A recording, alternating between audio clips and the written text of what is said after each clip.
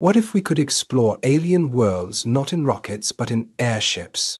On super Earths, planets larger than our own, the lower gravity and denser atmospheres could make helium filled airships a viable mode of transport.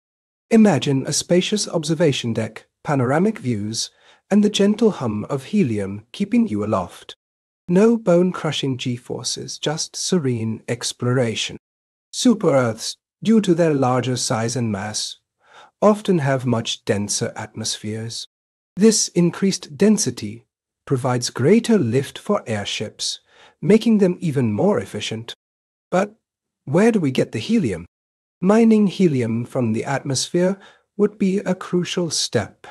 But out out can well. Giant helium extraction, plants dotting the landscape, refining this precious resource. Imagine bustling skyports high above the surface, the launching point for countless expeditions a network of airship routes crisscrossing the planet. Scientists studying alien ecosystems, explorers charting new territories, tourists marveling at breathtaking vistas, all from the comfort of an airship.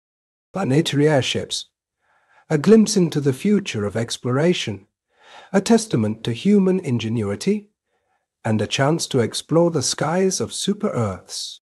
What do you think? Could this become a reality? Let me know in the comments below.